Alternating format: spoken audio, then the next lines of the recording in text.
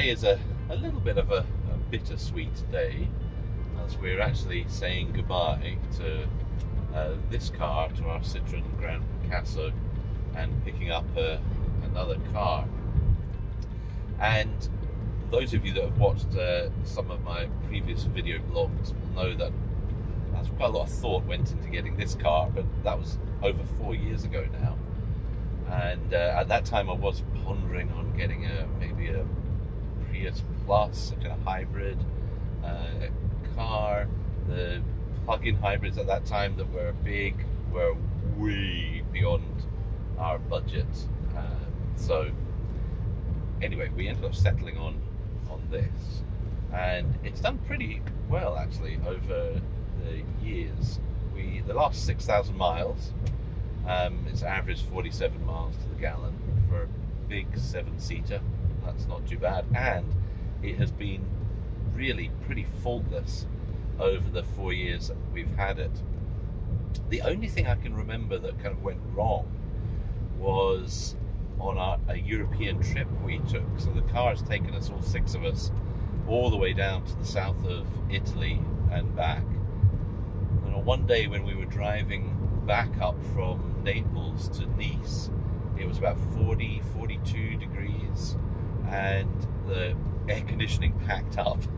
And so rapidly the car became like an oven, and I was thinking, oh, I cannot believe the air conditioning is broken when we are down in the south of Europe.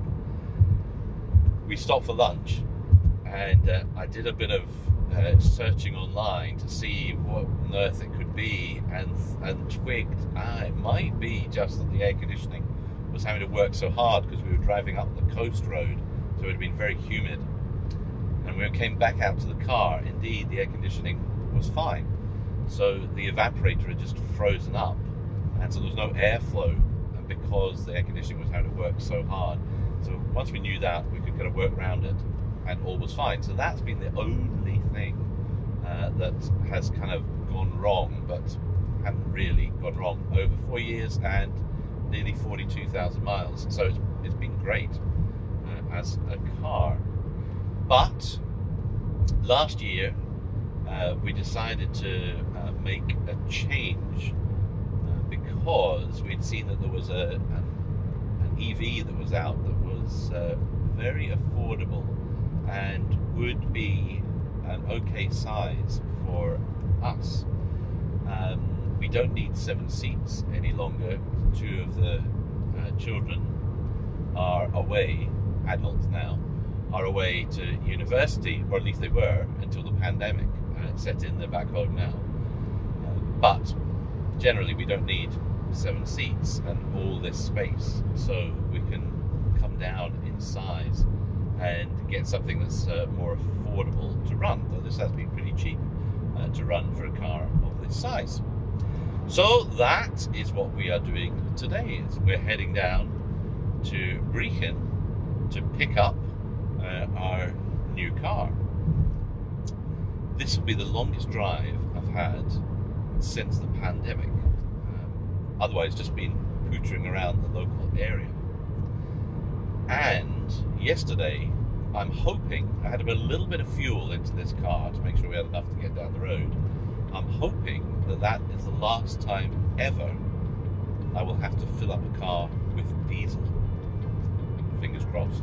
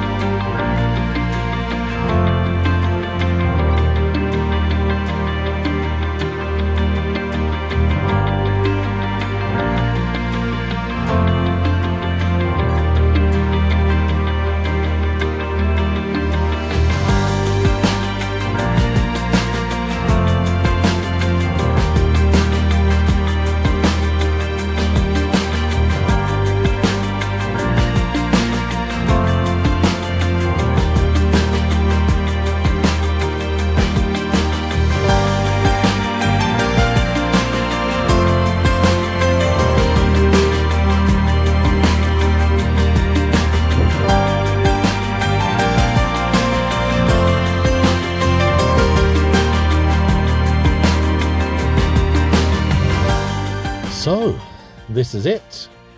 We have bought an MG ZS EV, and that's to replace the the Citroen. And we're going to keep the uh, the Renault Zoe for another good few years yet. Now, on the Zoe, um, it's actually been in the garage. Um, it went in just a few days before the lockdown uh, happened and it was awaiting a part that was on back order from France. And then, of course, a lockdown took place. So we haven't had the Zoe for the whole period of the lockdown. I think the garage is opened again now, uh, today even. And uh, so hopefully we'll hear back from them soon and get the, the Zoe back. And then we will have a... That's the horn.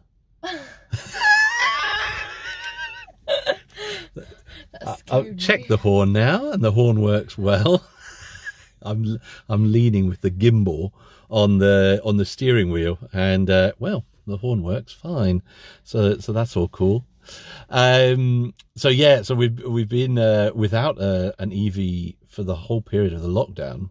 Um, just the way things have happened.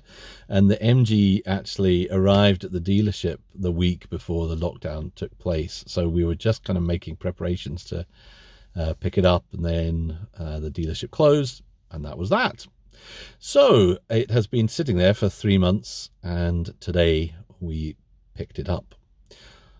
We got the uh, dynamic red version and the exclusive version. So the the Citroen we had, the Grand Picasso, was also an exclusive version, and both of them shared the kind of main feature being a big glass uh, roof uh, above us. Now we were just drove over to what is the kind of fort at Aberdeen, and you get a great view over the the harbour from here. And when we, the first day I picked up the Zoe, we came up here to take a picture of the car, kind of looking out over Aberdeen. So we did the same today, and there is haar everywhere. If you don't live near a coast, you won't know what that is, but there is just a, a sea mist everywhere. So we cannot see Aberdeen at all. Can't see anything of it, but we thought we should bring the car up here to take a picture anyway.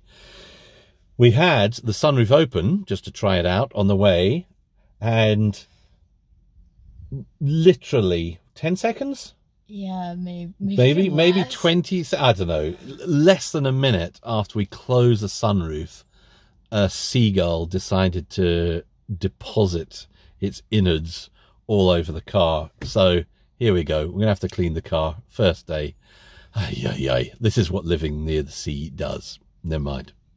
Anyway, the MG. So we we picked up the MG, and for a, a, lot of the same reasons, a lot of folks have picked up one of these MGs in the first kind of few thousand orders that they've had. It's been selling really well uh, because it was being a you know a really good deal for what is a much bigger car than the Zoe, and the battery capacity is for us it's about double what the the Zoe was, so that gives a, a useful uh, expansion in range. And and for us, our kind of main longer journeys would be a journey down to Glasgow. So with a little bit of care, I think we'd be able to do that in one uh, or uh, if we're going faster, maybe with a, a 10 minute top up uh, around about Perth. Um, so much, much quicker than has been the case in the past for uh, traveling up and down the road when we were in uh, the Zoe. I'll just close the uh, close the windows there. I think there's somebody coming up uh, and around, and so that's that's great and we'll look forward to that. Now it had um it has had some of the comfort 2 update done, but not all of it. Now this seems to be something that is uh, common to a few folks uh, just at the moment. Now what that means is that some of the really annoying little quirks that the car had initially have been ironed out. Too many warning uh, alert uh, bong sounds um, they have kind of softened the chime sound that's used, improved the MG Pilot, which is a kind of uh, um, assisted driving uh, things. Uh, exterior temperature now appears on the uh, info infotainment screen, and you always have a note of your uh, mileage remaining on the battery in front of you, which is great. However, some of those, so some of it has been done. I think the main bulk of the updates have been done, uh, but there's one update that needs to be done on a USB stick and it hasn't been done. So there was a bit of confusion when I picked up the car and I realized that some of the updates have been done, but not all of them. So it may need to go back just to, to get that uh, complete and then it should be all sorted. But it uh, some of the issues that folks have raised in the other videos about when you're indicating and uh, an alarm going off when you cross over, even when you're indicating, all that's been sorted. It didn't do any of that. And it's much quicker on the boot up of the car at the start and you only get one chime. It's just that it is that rather annoying chime rather than the, the new softer one. So that's all good. We have 59 miles on the clock and um, we're going to explore what the, the car's like over these next few years with it. So that's the beginning of our, our new journey with the MG ZS EV.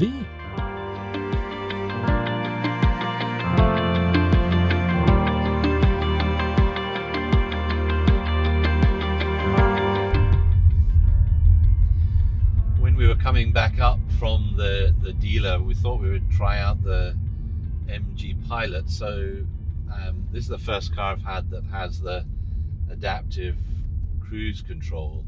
And I know there have been some updates on, on how it works. It actually worked really well.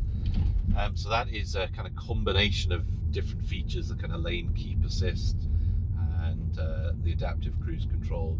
And just with a, a, light hold on the on the wheel, it was able basically to drive us the, the whole way back. And uh, I, you know, it does the usual thing. If you if you let go entirely, it will leap at you to warn you to uh, keep your hands on the wheel. Um, but it was very uh, impressive and actually very smooth in keeping track to the to the lane. There are a couple of quite steep uh, um, bends, quite tight bends on the motorway coming up, and it tracked through those bends no problem at all. And this was on a really, really foggy, uh, misty day. So, I mean, here we're up the top. You can't, you can hardly, we're at the, the lighthouse is just here, and uh, you can hardly see the top of the lighthouse. Um, it's so misty today. But uh, foghorn, see that over there? the old foghorn for the ships coming in. Um, so that was really actually impressive. It uh, it was kind of spitting on and off, but not really not really raining hard. Um, oh, the road has come to an end. There's a new harbour. You see all this down here? There's a new harbour being built here uh, for the uh, a new deep sea harbour for the for the city for cruise liners and and all the rest so that is going on here so they have stopped our fun we can't drive all the way around uh, the lighthouse any longer never mind so actually I listen. yeah i'm impressed so the quality of the car is actually pretty good i mean we, we took one for a, a, let me just put it in park here um, for a test drive back in September it would have been. So that's when we'd put the order in, and then kind of forgotten about it in you know in some ways because it'd been so so long then to to wait. Um, but uh, and it, and it felt fine the the model that we we tried as a demonstrator, and this is yeah feels feels good. All feels well screwed together. Uh, quality is is all there. You know, steering wheel feels good. Um, there are a few little things that we need to sort out. There's still some of the plastic that was protecting the um, the uh, air vents here. The kind of shiny black, uh, piano black kind of plastic. So there's a little little bits of that still appearing. We need to try and that's somebody with nails needs to do that. Ping those bits out. Um, but uh, uh, yeah, it, it, feels it feels great and it's uh, perky. There there are some things that I'm going to have to get used to, which are very different to the Zoe and the regen that is available is one of those things.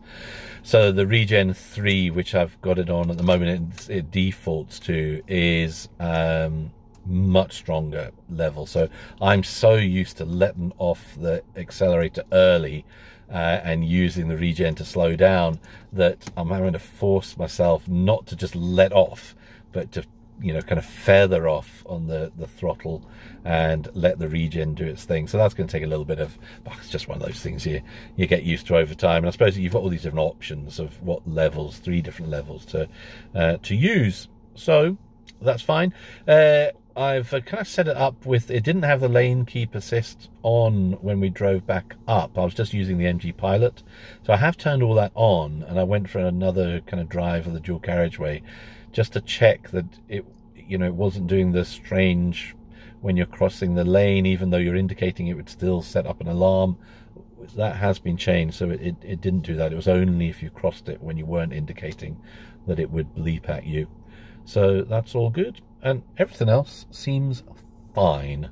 So, um, I think that's really enough. This is just for it has arrived, and then it's probably going to sit for a few months until we can really go places. the way things are at the moment, but they, there we go. Um, but yes, we'll be keeping this for quite a few years. Uh, so here's hoping uh, all goes well. Just as uh, we've had a good time with the Renault, which is up to 48,000 miles or something like that uh, we've done on the Renault now.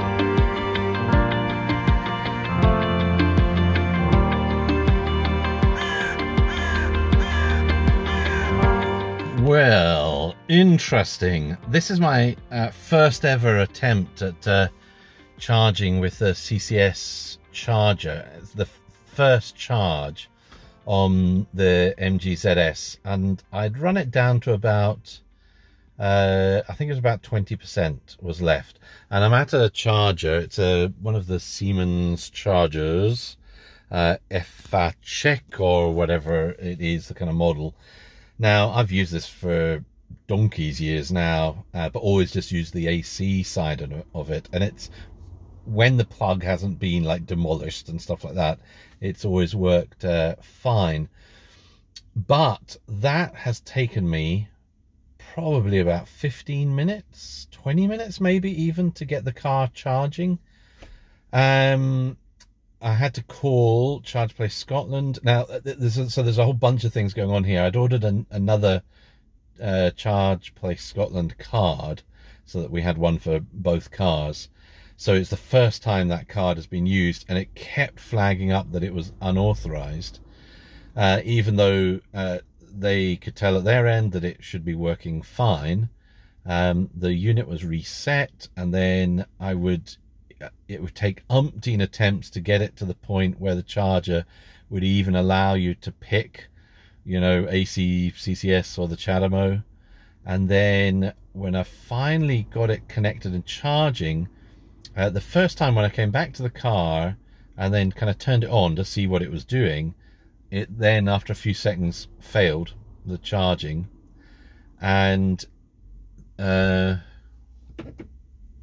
I'm just trying to see it, it's still yeah still I can still hear it whirring away, so it's still uh, it's still charging. I can hear the charger, and um, yes, and then it. Uh, so I think it was my uh, it then tried connecting and then it was saying charger would charger failed and then user uh, caused the to charge to stop which i hadn't done so multiple failed attempts to try and get the car to charge and finally it is it is charging um, so now I, I don't know if i should turn it try to turn it on i want to turn it on because i want to see what it's doing um, but Mm, yes. Is that a good idea or not? I don't know. Let me try uh, locking the car. And uh, yeah, well, I'm gonna I'm gonna try it and see what happens. So, um, here we go. I'm just going for the the start here. So that's first press, and we will mute that, and second press.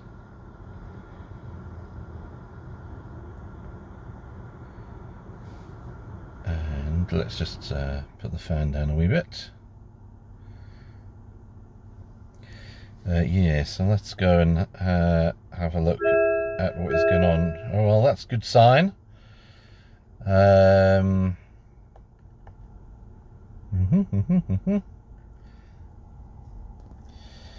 right. Alrighty. 118 amps, 408 volts. I think what were we about 30% or something like that? It was saying on the on the charge. Right, quick maths. All right, well, that's uh, a little bit over 48 kilowatts. So actually, spawn. I mean, it's a 50 kilowatt charger, this, so can't really ask for, for more than that.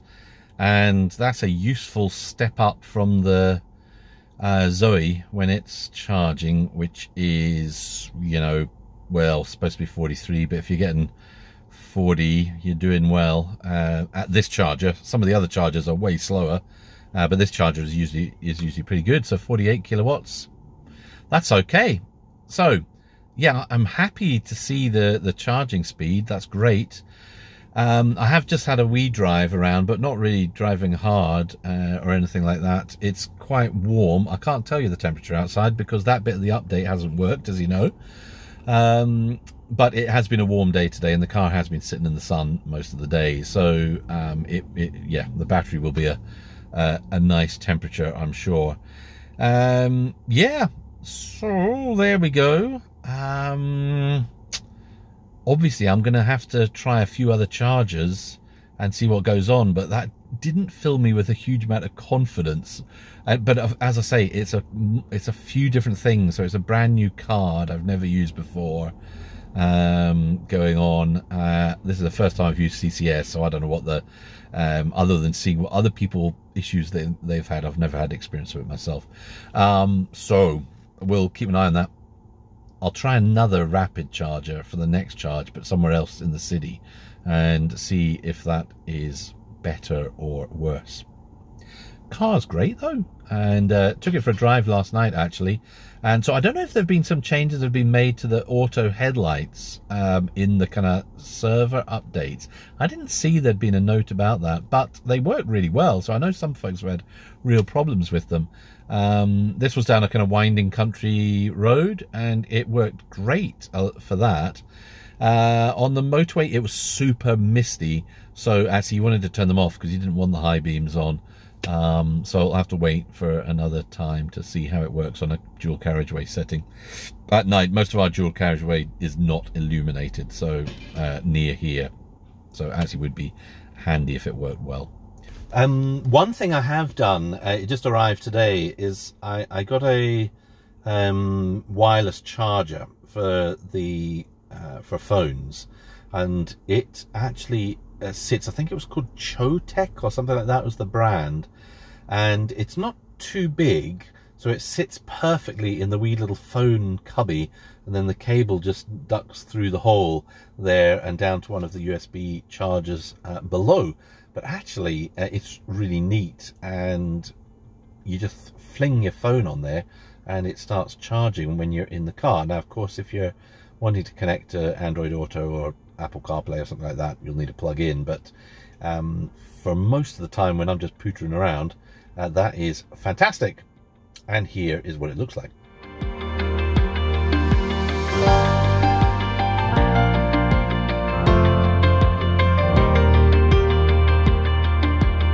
All right. Um, I think that's probably enough for now.